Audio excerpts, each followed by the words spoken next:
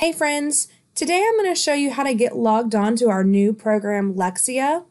In another tutorial, I will show you how to actually go through building the skills. But today we're going to practice just getting logged on, okay? When you go to workstations, you're going to see this web page. It says Lexia Reading Core 5, okay? It's always going to have the birds and balloons here.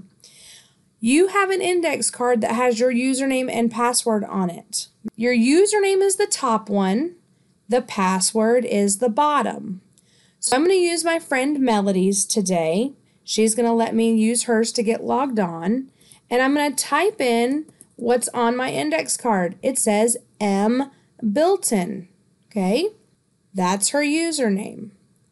Now I'm going to take my mouse. I'm going to come down here and I'm going to click this word show. So when you click it, it will change. Then I'm going to bring my mouse all the way back over and I'm going to enter my password, okay? It's probably going to be the same as you just typed in for your username. So make sure they match. So once I have my username and my password, I'm going to hit the top blue button that says login.